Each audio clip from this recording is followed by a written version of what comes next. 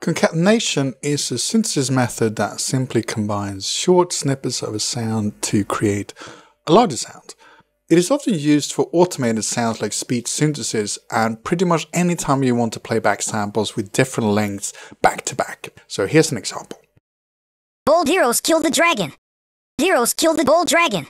Kill the dragon. Bold heroes we can use this method for quite a few things in game audio and one of the things that I find it really useful for is to improve how footsteps are played back and how they sound in the game. So a common method to create footsteps audio in games is to record a footstep and then add some more and that way create some variation and often by randomizing pitch and levels. But if we instead split the footstep into an attack section and an end section and randomize between them, we've instantly created much more variation. In this tutorial I'm going to be using FMOD and action sheets, but this method can be used in most game audio implementations regardless if it's done using a middleware or an editor system.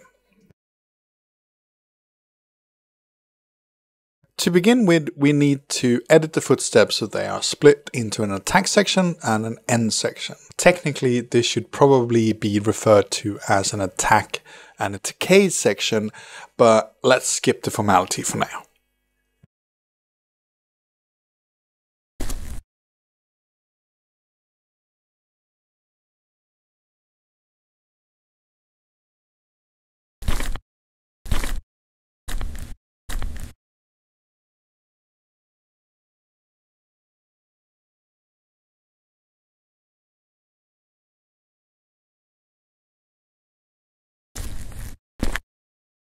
Then we rename the files with their different categories and render them to disk.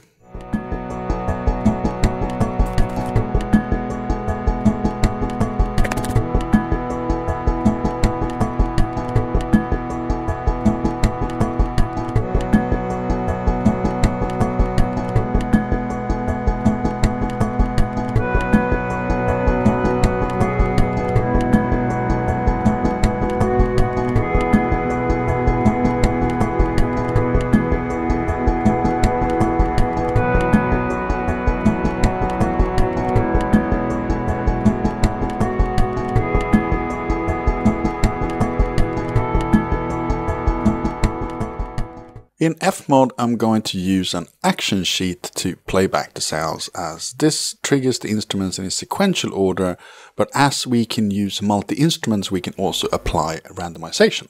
In this case, I'm using shuffle randomization as this ensures that the same sound isn't being played twice in a row.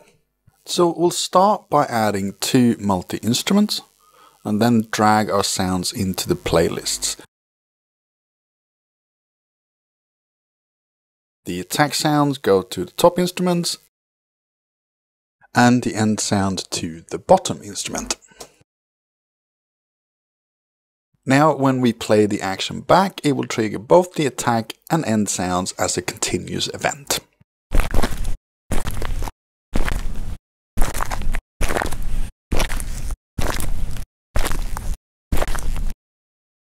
We can also use an envelope to control the decay of the event.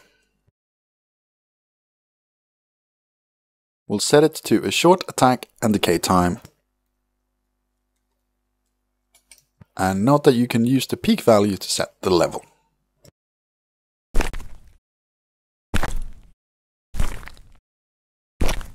You can of course trigger this as an event in itself, but as we're likely to use more than one footstep type, like grass, wood and other types, I'm going to add this to a footstep event where I can use a terrain type parameter to control which footstep type is being played back. So we'll drag our action sheet into the event to make it referenced. And as you can see, I'm dragging it directly into the parameter sheet as I'm not planning to use any automation at this point. And in Unity, I have this set up so I can add the event as a string. So we'll copy the path. And then we'll paste that into Unity.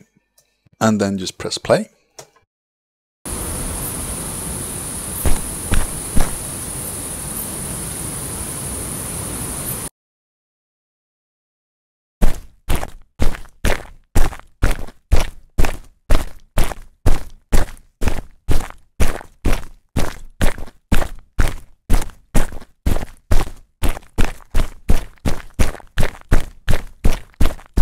Thanks for watching this video and hopefully it was helpful.